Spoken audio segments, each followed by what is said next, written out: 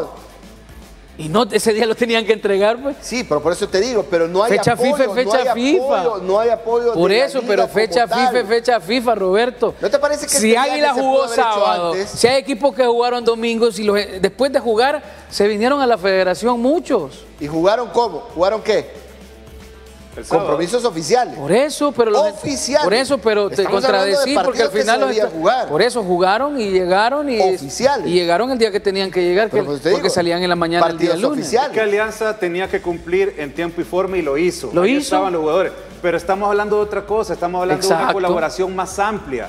Estamos- además ha quedado Ahora- totalmente en el misterio la presencia de los nombres de Marvin Monterrosa, Narciso Orellana en la prelista que se filtró a los medios y que tiene firme y sello Sí. y que es un documento claramente oficial y de repente, no sé si por decisión técnica o porque ellos decidieron dar un paso al costado, pero en San Vicente y la Granadina no están ni Orellana ni Monterrosa. Pero son más, y eran 27. No, de y no estaban los legionarios.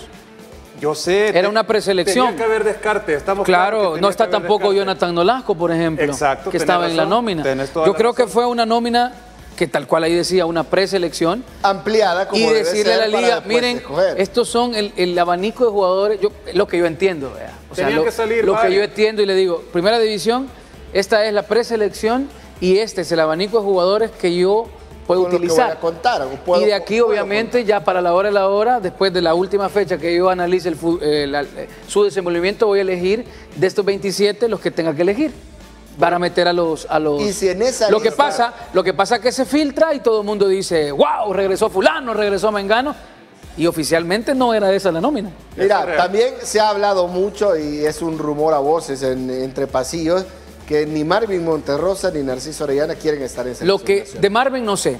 Narciso a mí me lo dijo en ese partido después de venir de Surinam y yo creo que lo dije aquí en Fanáticos.